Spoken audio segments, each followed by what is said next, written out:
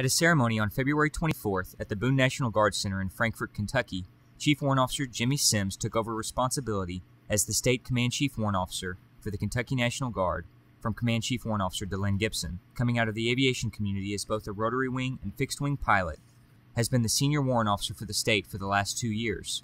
It's like I always tell anybody I meet, you treat people good, they're going to treat you good. So, and that's, I, I think that's what this world's all about. It's what the Guard's all about, too.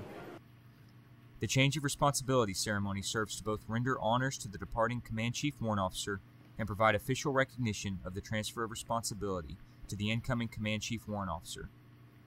The symbol of this position is the officer's sword.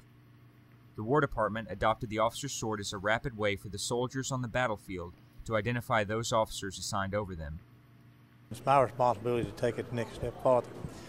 Uh, Chief Gibson does remarkable things. Uh, we went from uh, having uh, sent all of our students off to uh, schools to bringing in a warrant officer entry candidate program that we started at Wendell Ford where we can train our own people. Newly appointed Command Chief Warrant Officer Jimmy Simms takes responsibility of the Kentucky National Guard Warrant Officer Corps, leaving his previous position as the Senior Maintenance Officer at the Department of Logistics.